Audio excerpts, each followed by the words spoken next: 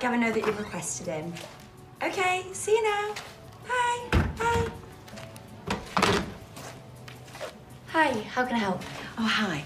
Um, I've just moved house and I need to check that you've got my correct details on your system. I can't remember if I've told you. Okay, are you a member? I am, yes, yes. My name's Fern. Fern Linden. Do you have a membership card? Oh, oh, I've lost it, sorry. Uh, okay, um, any photo ID, driving license, passport? Oh, they're at home. I didn't realise that I'd need them. Uh, unfortunately, there's nothing I can do, I'm afraid. It's data protection. Well, honestly, I'll be dead quick. If you just show me the address, I can tell you if you've got the right one or not. I really can't. Not without proof of ID. Yeah, but you know me. Everybody does. I'm Fern.